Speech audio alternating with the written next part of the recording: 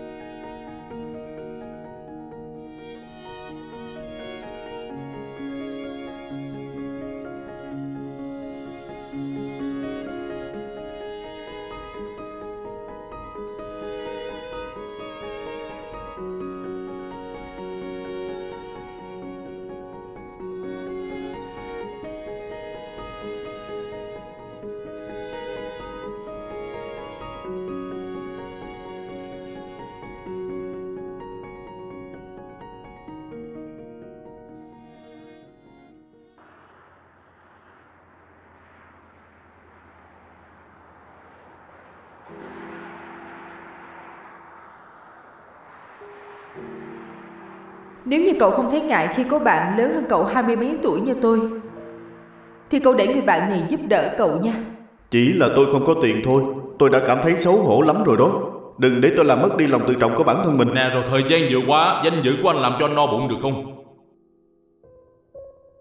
Bây giờ Chị Rambon đã cho anh một cơ hội rồi. Anh cần phải giữ nó. Người cho anh cơ hội được no bụng ngủ ngon. Người ta cần có tiền Chứ không phải danh dự đâu anh phải nhớ lời của tôi nói Danh dự không có ăn được, đâu anh biết không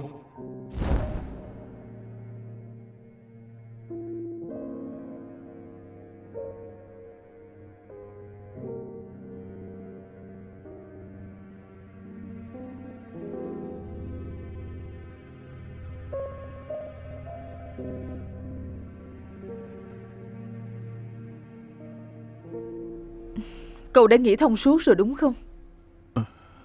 Là Bây giờ tôi vẫn chưa nhận được tiền lương Bởi vì tôi bị cho tạm nghỉ một thời gian Nên tôi vẫn chưa có tiền để trả tiền phòng nữa. Cậu cũng biết chuyện tiền bạc không quan trọng lắm đối với tôi. Nhưng mà nó rất quan trọng đối với tôi. Tôi không muốn chị nghĩ là tôi Ai cha. Tôi vừa mới bị chồng của tôi lừa. Nếu như thực sự tôi nghĩ cậu sẽ lừa tôi cậu nghĩ là tôi sẽ để mình bị lừa lần nữa sao? Cảm ơn chị nhiều vì đã tin tưởng tôi. Nhưng mà người khác chắc là không nghĩ giống như chị. Vì vậy...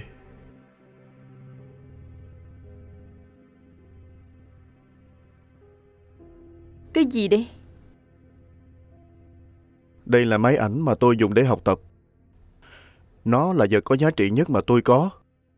Tôi muốn chị cầm lấy thay như tiền thuê phòng hàng tháng. Cuối cùng cậu cũng không chịu ở chung cư của tôi miễn phí đúng không? Đúng vậy. Cậu có biết là tiền thuê phòng một tháng bao nhiêu không? Tôi biết mà. Cậu nói là cậu đang tạm thời nghỉ việc. Cậu đem máy ảnh này để trả tiền thuê phòng cho tôi. Vậy tháng tiếp theo, cậu sẽ lấy cái gì để trả cho tôi? Tôi còn có công việc làm ở tiệm massage nữa. Chỗ đó trả tiền theo giờ không phải trả theo tháng đúng không? Nhưng mà tôi sẽ tìm một công việc khác để làm.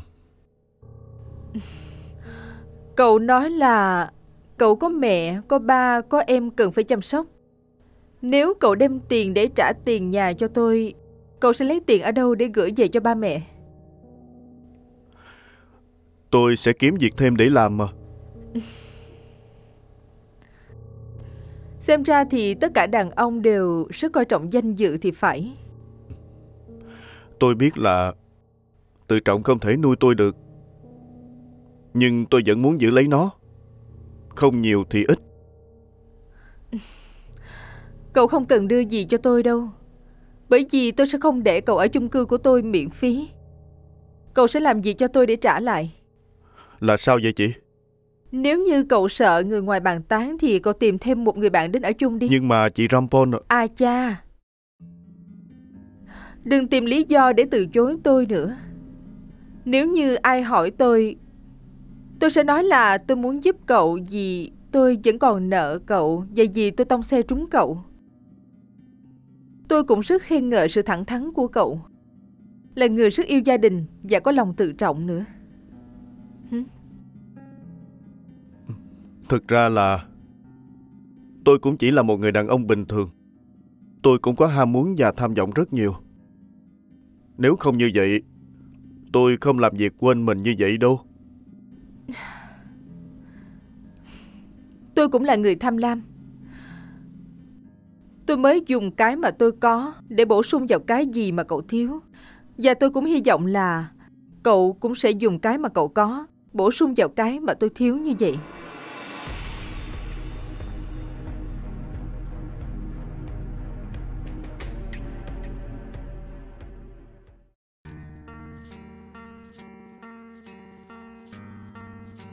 Được rồi. Dạ Ơ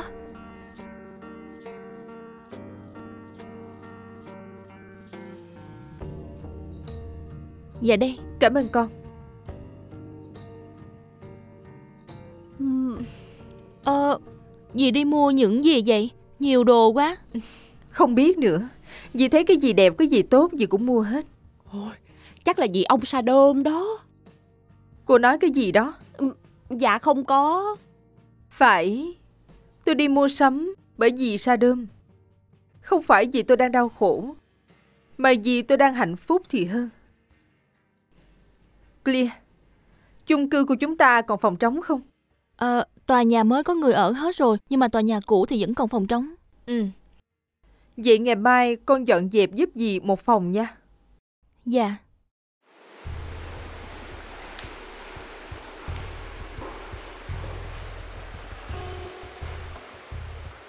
Là sao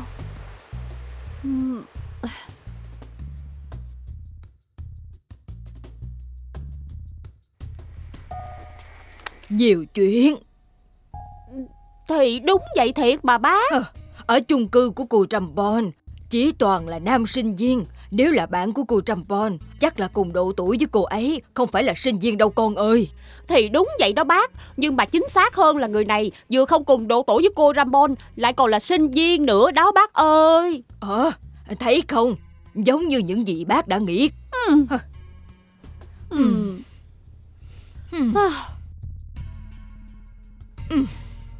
Thôi đi vô. Buồn ngủ quá à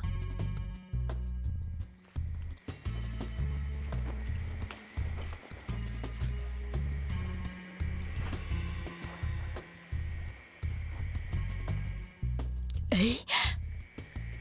Ê.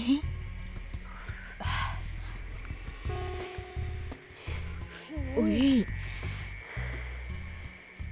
Alo, nè, tôi có tình nóng hổi, sốt dẻo của cô Trầm Bon để nhiều chuyện với cô nè.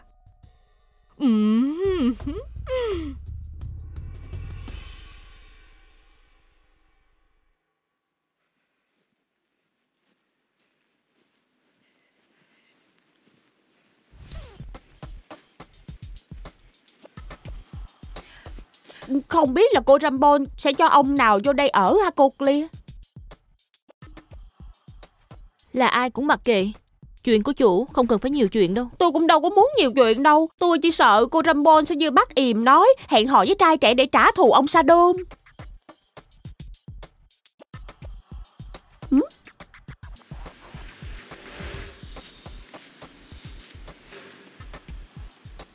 Chị Ma ra sĩ làm gì vậy? À, anh thấy hả? À, à, à, chuyện là anh tôi mua đồ về nhà à, nhưng mà đồ nặng quá đi à, nên tôi muốn hỏi là thợ ở chung cư có rảnh để giúp tôi khiêng đồ hay không? Thợ không có rảnh đâu. À, à, à, ờ, anh tại sao vậy? Anh vì có người chuẩn bị vào ở sao? Ai muốn dọn ra dọn vô cũng không có liên quan tới cô đâu Về mà dọn đồ đi ha Nhưng tôi vẫn chưa nói chuyện xong với cô Lia. Nhưng mà tôi đã nói xong rồi đó Nhưng mà tôi vẫn chưa nói chuyện xong. Vậy thì mời đi chỗ khác nói chuyện Cô không thể đi vào trong đây được Bộ không thấy bản thông báo sao Bản thông báo gì? Người ngoài không được phép vào trong. Nè, tôi không phải là người ngoài. Tôi không có nói tấm bản đó Tôi nói cái tấm phía dưới kìa Không được mang vật nuôi vào trong chung cư. Ui, tôi cũng không phải là vật nuôi mà. Nè, ơi, Cô ma Ê, nè, đi về đi Mau nè, đi về kia, đi tại sao Không vậy? có đuổi tôi làm Đi gì hả? về. Có bí mật gì hay sao hả? đi. Cái gì vậy? đi mà đuổi tôi làm gì? Làm ơn Khi đi không về lại đuổi đi tôi làm gì hả? Có bí mật gì Đi hay về sao? đây đi, Nè, làm ơn làm gì đi. vậy? Hả? Trời ơi Làm gì vậy? Ai mà cho có bí mật gì phải không hả? Đi về nè, nè, nè, nè, nè, nè. Tôi nói là Nè, đi về có bí mật gì có phải hay không? Nói cho tôi biết. Hả?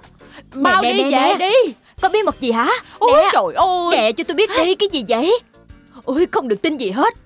Có gì đâu mà giấu giấu giếm giếm chứ. Ôi trời ơi. Ôi, ôi, Chết rồi chết rồi? Ồ, ờ, ờ, Ờ. Xin lỗi chị. Ờ. Ê, Là cậu phải không? Cậu sẽ ở chỗ này. Hả? Dạ. Ồ. Chào chị. Nếu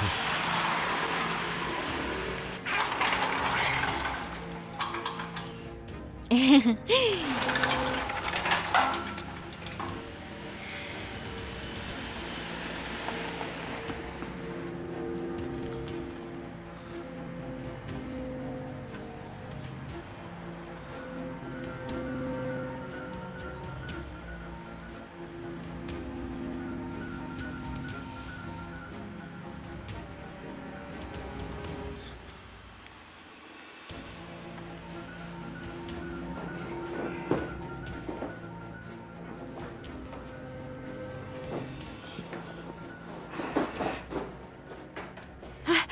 cô ma ra sĩ còn nhiều chuyện Mấy chuyện của cô Rambon nữa hả? Một ngày nào đó tôi thuê tài xế xe ôm Làm chồng của cô ta cho biết à. Điên rồi hả, Chen?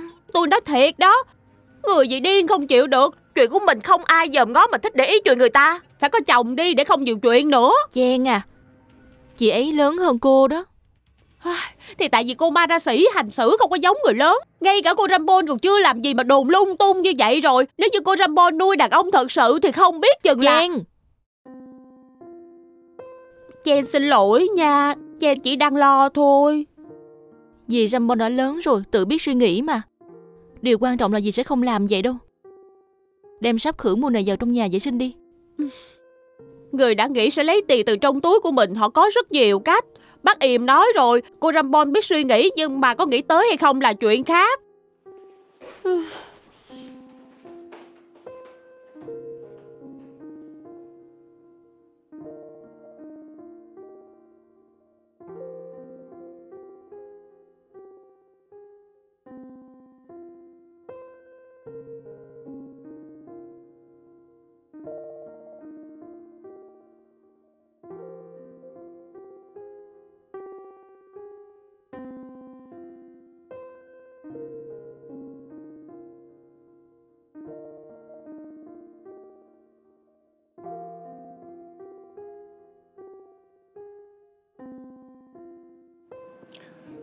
Để anh dán cho.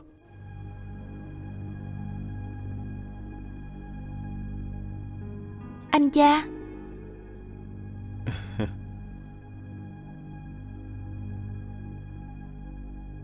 ờ, Anh tới làm gì vậy hả Anh đến đây không có gì ngạc nhiên đâu, bởi vì đây là chung cư dành cho con trai. Còn Clear, đến đây làm gì hả? Em Clear Phòng mà dì nói con dọn dẹp đã xong chưa Dạ rồi gì Ai cha, sổ bôn, đây là Clear. Clear chính là trợ lý riêng của tôi Cô ấy quản lý sắp xếp tất cả. Nếu như muốn thêm cái gì nữa Các cậu cứ nói với cô ấy. Clear. Đây là ai cha bí xây sắt Người mà dì đụng phải đó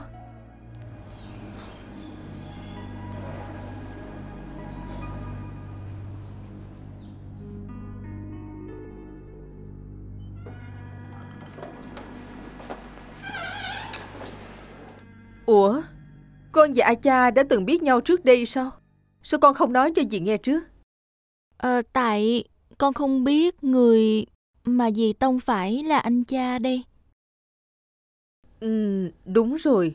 Con chưa từng gặp cậu ấy. A cha sổ bôn. Dạ. Phòng này có ở được không? Ồ, Nó có nhỏ quá đối với hai người không? Nếu mà không ở được Thì để tôi đổi phòng khác cho hai người nha. Ờ thì... Không. ờ, Không sao đâu, sổ Paul chắc cũng không ở đây với tôi hoài đâu mà. Phòng lớn như vậy là đủ với nhân viên bảo trị của chung cư như chúng tôi rồi. À quên nói với con nữa Clear A cha cậu ấy sẽ đến phụ việc ở đây đó Nếu Clear có việc gì, cứ chỉ cho anh nghe. ừ, Về công việc Dì Rambon sẽ là người hướng dẫn Em không giúp gì được cho anh đâu Vì em chỉ là người làm thuê ở đây thôi Bây giờ đừng nói chuyện công việc. Hai người nghỉ ngơi trước đi.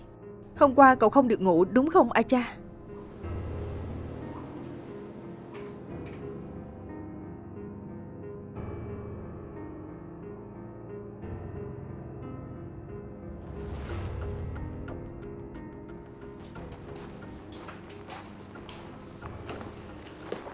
Ờ, Clear.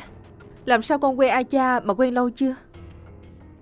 Dạ cũng không bao lâu đâu dì Ừm, nhưng hồi nãy thấy cô ta giật mình khi thấy con Anh trai của tôi học ở khoa luật cùng khoa với anh cha đó. Anh trai của tôi từng kể với tôi là anh cha từng nghỉ học và biến mất một năm bởi vì anh cha được một người phụ nữ lớn tuổi nuôi. Nhưng lúc bà ta chán, bà ta mới bỏ rơi anh cha, anh cha mới phải đi làm ở vũ trường quán rượu đó. Thêm điều này nữa, anh cha có rất nhiều phụ nữ theo đuổi đó. ừ, Là sao vậy hả? Không chỉ có vậy Người ta bàn tán với nhau là anh cha. Làm nghề bậy bạ đó. Clear. Clear. À, Dạ. Có gì không ổn sao? Ừ, Không có Anh cha giật mình chắc có lẽ là không thể tin được là con ở đây đó gì. Ừ. Cậu ấy học ở khoa luật Còn con học ở khoa quản lý mà. Anh ấy là trưởng ban câu lạc bộ nhiếp ảnh mà con tham gia. Gặp anh ấy có mấy lần thì anh ấy đã nghỉ học rồi. Chắc là nghỉ học vì đi làm việc. Dạ chắc là như vậy. Từ bây giờ con nói với bác Yểm là nấu cơm thêm hai phần cơm Để đem cho A cha và bạn cậu ấy ăn nha. Tội nghiệp cậu ấy.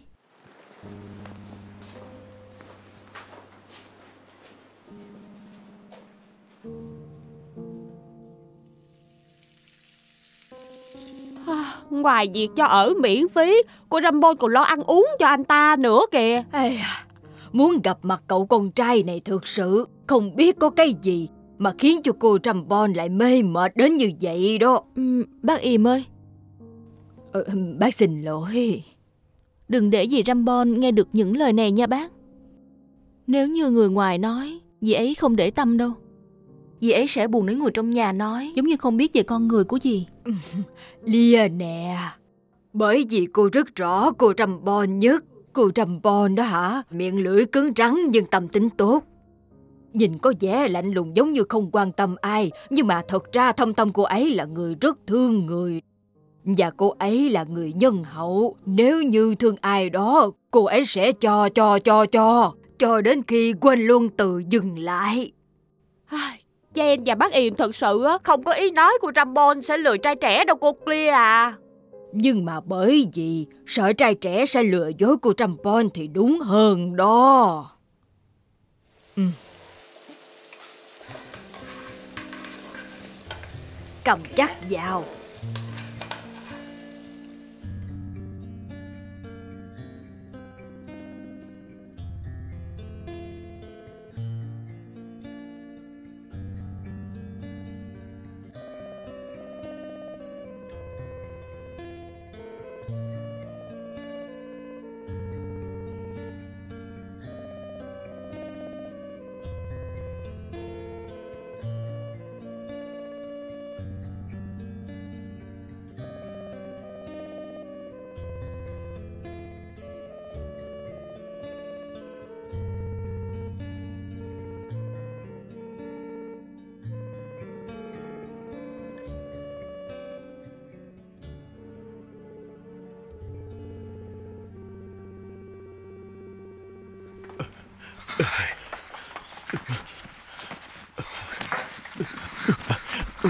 Ôi, à cha, ờ, xin lỗi chị.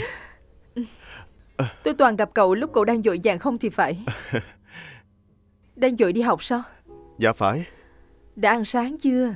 Để tôi đến trường rồi kiếm cái gì ăn ở đó. Ừ, cầm cái này đi ăn đi. Bữa ăn sáng rất quan trọng đó. Chăm sóc cho người khác cũng phải chăm sóc cho mình nữa.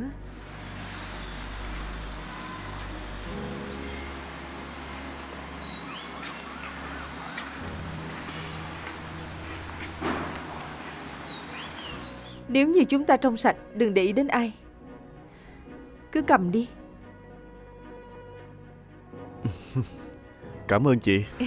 Được.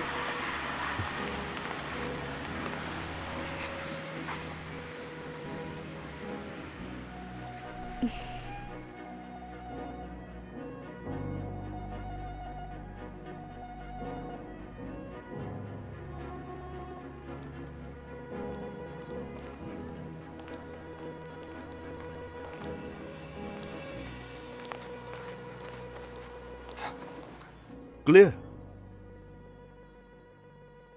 Anh cha Anh vẫn đi học bình thường hả Em tưởng là anh đã nghỉ học rồi À, anh anh không nghỉ học nữa. Chỉ còn một học kỳ nữa thôi. Anh muốn học cho xong đó Clear.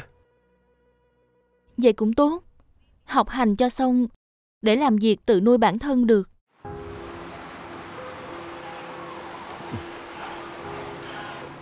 Ờ, Clear. Chuyện chung cư... Chuyện mà anh dọn vào ở chung cư là... Lia. À, Chào buổi sáng anh cha. Ừ, Chúng tôi hình như đến không đúng lúc rồi ha. Không có Tôi với anh ấy nói chuyện xong rồi. Đi Em đi trước ha